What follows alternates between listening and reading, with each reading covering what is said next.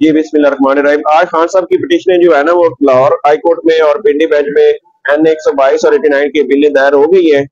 और इनशाला खान साहब इलेक्शन में भरपूर हिस्सा लेंगे और उम्मीद करते हैं कि इलेक्शन जो है, इतने बड़े लीडर के बगैर वो कैसे हो सकता है और खान साहब और पाकिस्तान की आवाम जीतेगी।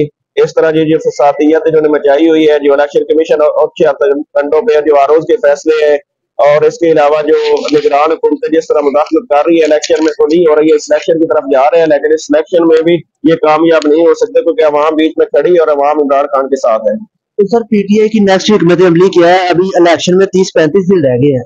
कंपेन को किस तरह मैनेज करेंगे जलसे किस तरह करेंगे ये सारी चीज़ें ये बड़ा अच्छा क्वेश्चन है आपका क्योंकि देखिए और जो बाकी जमातों के उम्मीदवार है वो तो अपने हल्कों में कंपेन कर रहे हैं और हमारे उम्मीदवार या तो छुपे हुए हैं।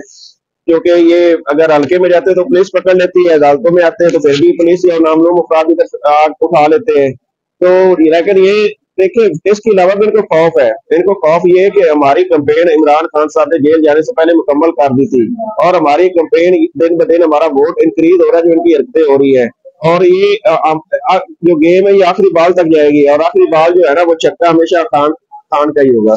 सर, ये जमशेद लस्सी के साथ जो किया गया और भी पीटीआई की खातन के साथ किया गया, उस्मान डार को उठा लिया गया, उनकी वालदा के कागज़ मुस्तरद कर दिए गए, इस हवाले से आपने देखिए, जिस तरह नवाज़ शरीफ की अभी जो ये हमारे चीफ जस्टिस साहब ने फरमाइशी पिटीशन लगवा के किसी और केस में और उनको एल करने के लिए जो लंदन प्लान है, और लंदन प्लान ये है कि पाकिस्तान तरीके इंसाफ को इलेक्शन से बाहर रखा जाए, इमरान खान को बाहर रखा जाए, और जिस तरह तशद और ये चादर चार दीवारी का तकद इस्तेमाल किया जा रहा है लोगों के ऊपर हमले किए जा रहे हैं उनको गिरफ्तारियाँ हो रही है। लेकिन इसके बावजूद भी लोगों की हिम्मत और हौसला और आवाम का जो मोहब्बत है खान साहब के दिन ब दिन बढ़ती जा रही है। तो सर इसके बारे में आप क्या कहना चाहेंगे? राना सलाउल्ला ने पहले कहा था हम पंजाब से 120 सीटें निकाल लेंगे। अब वो सौ में आ गए हैं। तो इसके बारे में क्या कहना चाहेंगे? अभी खुद नीचे आ रहे हैं ये बीस भी नहीं निकाल सकेंगे इंशाल्लाह। ये हमारी बदकिस्मती है जी कभी कोई पाकिस्तान में कोई ऐसा इलेक्शन नहीं है जिसपे हम फख्र कर सकें। कि ये इलेक्शन बिल्कुल साफ़, शफाफ और इम्पॉर्शन हुआ है। लेकिन विद पैसेज ऑफ़ टाइम हर दफ़ा जो प्री पोल रिगिंग है या रिगिंग है या जो एस्टेब्लिशमेंट की इन्वॉल्वमेंट है, वो बढ़ती जा रही है।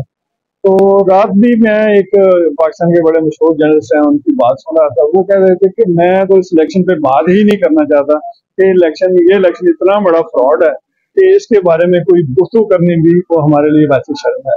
तो जिस तरह ये उम्मीदवारों के कागजात नामजदगी इसमें रिजेक्ट हो रहे हैं वो एक अलहदा एक, एक रवायात कायम कर रहे हैं कि पहले डिसाइड करते हैं रिजेक्ट करने हैं उसके बाद ये ग्राउंड देते हैं।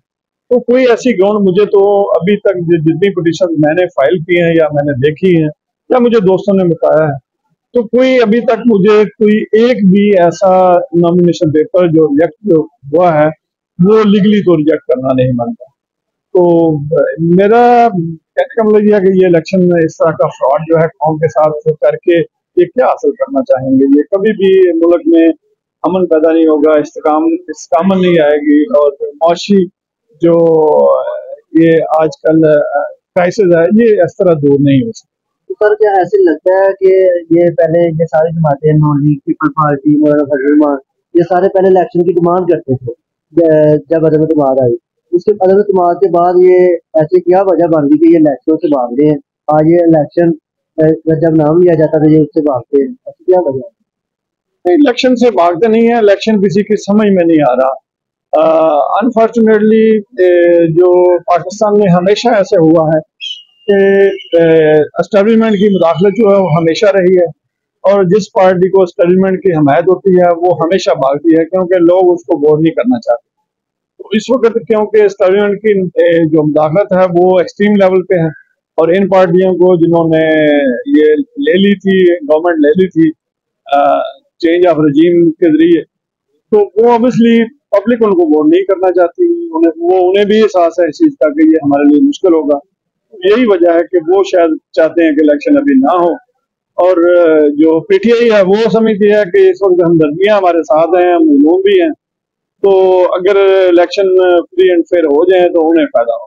सर ये कहती है कि हमारा सियासत तो आपको क्या लगता है ये बात दुरुस्त है तो ये तो एक आम रेडी लगाने वाला भी समझता है। कि इस्टेब्लिशमेंट ने कभी भी हमारे जो निज़ाम है उसको को कभी फ्री एंड फेयर नहीं चलने दिया। हमेशा उन्होंने इसे जकड़े रखा और आजकल जो हालात है वो तो एक्सट्रीम है ये तो फिर कभी माजी में हमने इसकी मिसाल भी नहीं देखी। तो सर ऐसा आपको क्या लगता है कि ये जो इलेक्शन होने जा रहा है इसके बाद स्टेबिलिटी आ सकती है मुल्क में जिस तरह का इलेक्शन नहीं मैं नहीं समझता कि कभी भी दुनिया में कोई ऐसी मिसाल नहीं है कि जहाँ फ्री एंड फेयर इलेक्शन ना हो क्योंकि स्टेबिलिटी तो तब आनी है कि जब आवाम मुतमिन हो कि हमने अपना राइट ऑफ़ फ्रेंचाइज यूज़ किया है और उसके मुताबिक रिज़ल्ट आए अगर वो नहीं आएगा तो वो कैसे मुतमिन होंगे? वो समझते हैं कि हमारे इख्तियार जिसके पास जाने चाहिए अगर उसके पास नहीं जाते तो स्टेबिलिटी नहीं है।